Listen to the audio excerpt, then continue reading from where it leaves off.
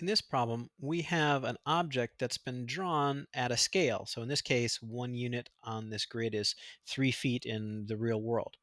And we want to draw the same object, but at a different scale, in this case, where one unit equals six feet. So how do we go about doing this? Well, I think the first thing I'd like to do is figure out how big this thing is in real life. This is just a scale drawing, so there's something in real life that has an actual um, measurement.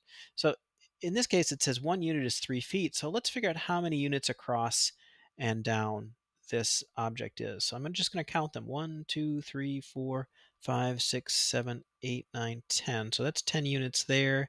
It looks like it might be a square, but let's count to make sure. One, two, three, four, five, six, seven, eight, nine, ten. Yeah, this is a square. So this is a 10 by 10 unit square.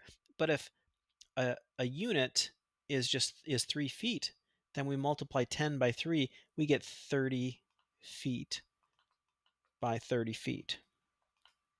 So that's how big the real object is, 30 by 30. Now let's see if we can draw this uh, in our new scale. In our new scale, one unit equals 6 feet. So to get to 30, well, 6 times 5 would be 30. I would need 5 units. So I can just draw in one side with 5 units and then the other with five units, and then complete the square.